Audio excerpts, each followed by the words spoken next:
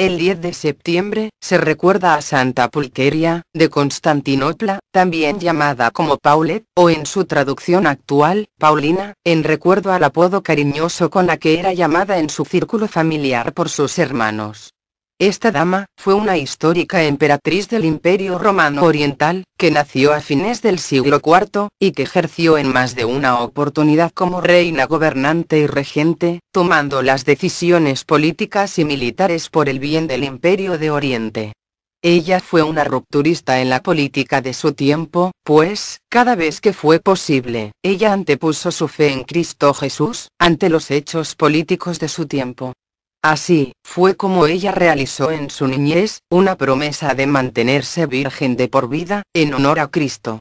Paulina Pulqueria, quería ser una esposa de Cristo, pero era la única hija mujer sobreviviente del emperador Arcadio, y por ello no se le permitió tomar los hábitos en la vida consagrada, pero, ella, tampoco cedió al matrimonio, ni ante las presiones de su hermano, ni ante las de la corte del imperio oriental. Por ello, sorteando todas las dificultades se mantuvo soltera hasta que asumió el trono imperial, tras la muerte de su hermano, pero ella, con 51 años de edad, estando enferma, por lo que para darle continuidad a la gobernación del imperio, tomó por esposo a un general retirado, llamado Marciano, con la condición de que ella se mantuviera virgen hasta el final de sus días, por lo que aceptó el matrimonio con el único motivo de darle legitimidad al gobierno, pues su esposo no pertenecía a la nobleza, y ella presentía su próxima muerte. Y le preocupaba el futuro de sus súbditos, en especial los más humildes.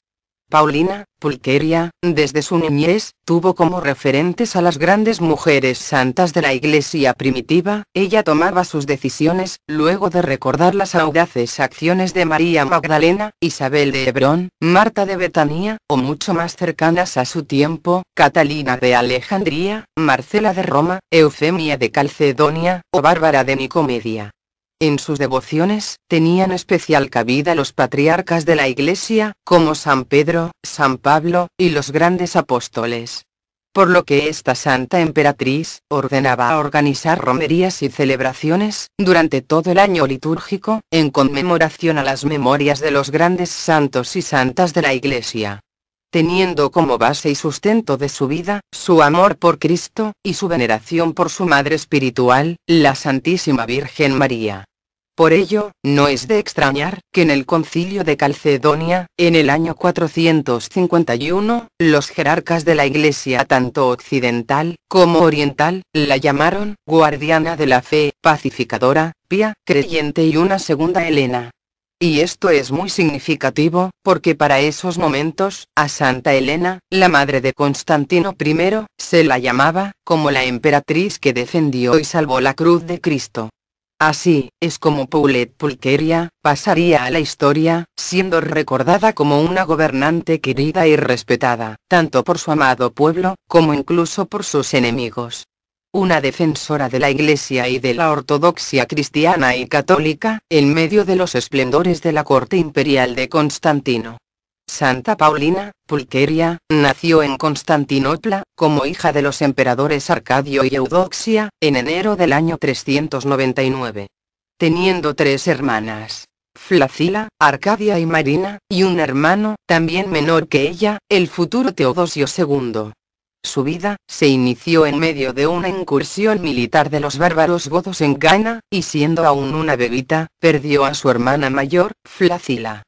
Su madre fallecería en el año 404, y su padre en el año 408. Por ello, es que la pequeña Paulina Pulqueria, con tan solo nueve años de edad, pasó a ser la mayor de la familia, situación que de una u otra forma, la iban a afectar políticamente por el resto de sus días. Por lo que se crió en la capital, dirigida por el visir Antíoco. Paulette Pulqueria, recibió una buena educación y como era muy inteligente, de una firme voluntad, muy pronto se convirtió en un apoyo incondicional para su hermano menor, Teodosio, el heredero del trono, el cual, aunque era muy bueno y devoto, tenía poco carácter, interesándole más las artes que la política. Por el contrario, su hermano mayor, dominaba las lenguas latina y griega, teniendo una formación filosófica, teológica e histórica excepcional, era muy piadosa y defensora de la fe emanada de los concilios ecuménicos y aunque tenía el título de nobilísima, el 4 de julio del año 414, con solo 15 años de edad, fue declarada Augusta, es decir como una emperatriz, corregente con el emperador. Una de sus residencias preferidas era el Palacio de las Rufanianas, situado en los suburbios asiáticos de la capital. El 30 de diciembre de ese mismo año, 414, el prefecto pretoriano Aureliano, hizo instalar en el Senado, tres bustos, uno en honor de la emperatriz Paulette Pulqueria, que compartía el lugar junto a su abuelo, el emperador Honorio, y su hermano Teodosio II. La joven soberana cumplió sus deberes con una extrema religiosidad, consagrando su virginidad al Señor a esta corta edad, sellando públicamente su voto con la donación a la iglesia de Santa Sofía de un espléndido altar. A solicitud de esta santa emperatriz, en el palacio imperial se cantaban de día y de noche las horas canónicas, se leían las sagradas escrituras, se hacía oración varias veces al día, se trabajaba manualmente, alimentándose modestamente, mientras se solían hacer ayunos, según los preceptos de la Iglesia Católica Oriental, aunque bien es verdad que la corte no era un monasterio y que en ella, en muchas ocasiones, predominaron las intrigas palaciegas.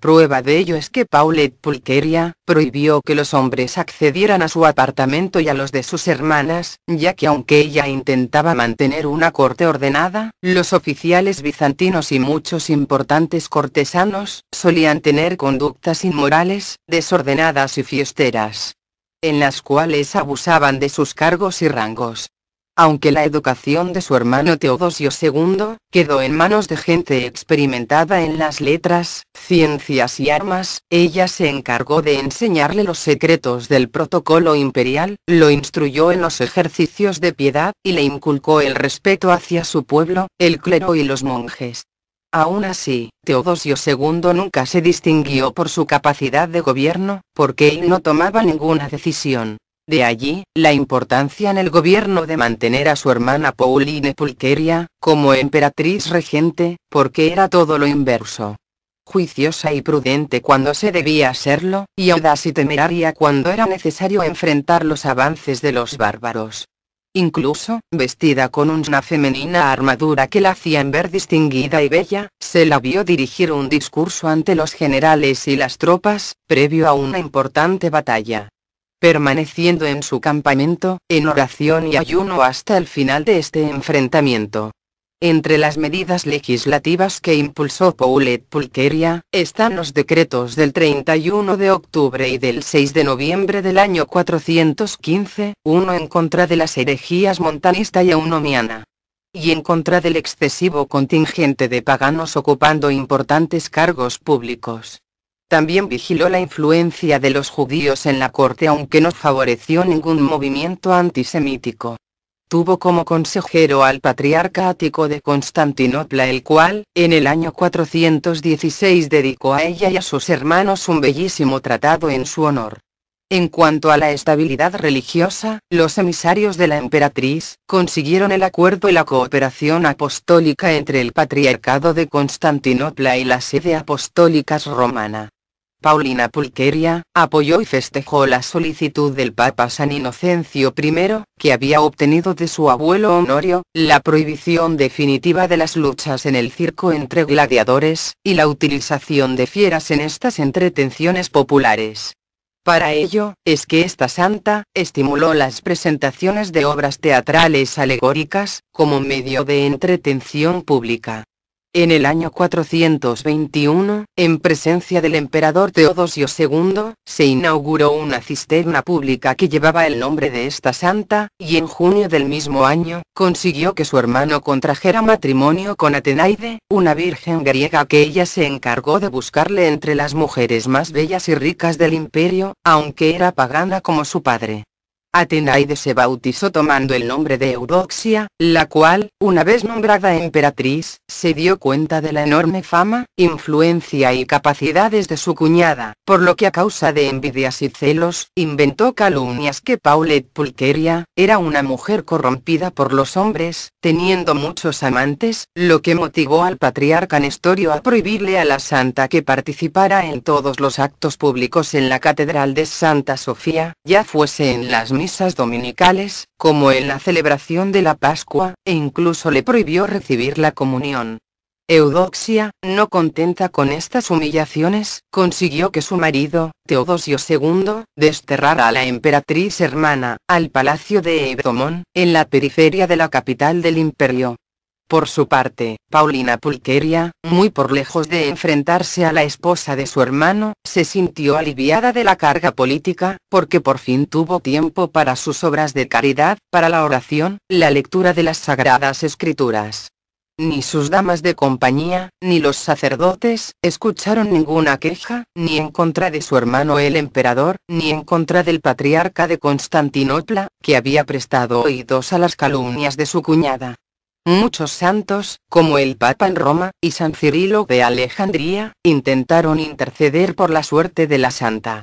Pero Pulqueria se mantenía alejada de la vida pública, hasta que fue necesaria su presencia, para calmar los ánimos entre las diferentes facciones tanto políticas como eclesiásticas, previo al concilio de Éfeso en el año 431, para lo cual, fue solicitada por uno de los artífices del concilio, Juan de Antioquía. Luego de ello, quedó tan clara la conducta intachable de la santa, que en el año 432, Cirilo solicitó nuevamente la intervención de su protectora, Pulqueria, para conseguir la adhesión de Juan de Antioquía. En ese mismo año, el patriarca de Alejandría, Cirilo, que fue otro protagonista del concilio del año 431, rogó a Maximiliano, el nuevo patriarca de Constantinopla, para que este último, convenciera a la santa para que lo ayudase trabajando y defendiendo las conclusiones y los dogmas acordados durante el mencionado concilio. La emperatriz Eudoxia fue en peregrinación a Jerusalén en el año 438, por lo que la ausencia de su cuñada le permitió a Paulina Pulqueria recuperar su preponderancia en la corte, lo cual duró hasta que volvió su cuñada. Pero que fue tiempo suficiente para que ella trabajara para difundir los acuerdos del concilio de Efeso. Pero en el año 440, ocurre una crisis en el Palacio Imperial, cuando fue condenado a muerte uno de los supuestos amantes de Eudoxia, llamado Paulino, acusado de tener encuentros con la emperatriz, y más tarde, por esta misma infidelidad, Eudoxia fue desterrada definitivamente a Jerusalén, no regresando jamás. Hubo entonces una reorganización en la corte, por lo que Paulina Pulqueria fue llamada de nuevo, aunque no para recuperar su antiguo puesto de corregente del imperio. Porque el primer ministro, Crisafio, que era corrupto e injusto con el pueblo, no permitió la intromisión de la hermana del emperador.